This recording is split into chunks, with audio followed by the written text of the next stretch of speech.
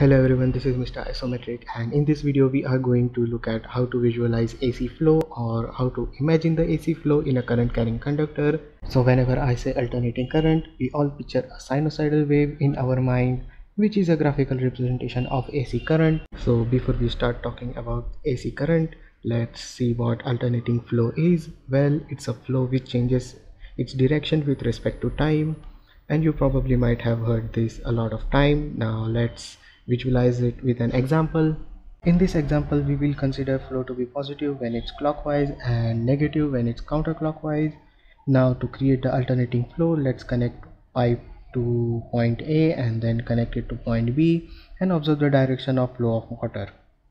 Also the yellow dots on the graph represent the point at which the flow is zero. So now hoping that you at least have some image in your mind about alternating flow let us see AC current flow on a current carrying conductor the box with the AC symbol is AC power source and the white balls represents the flow of current.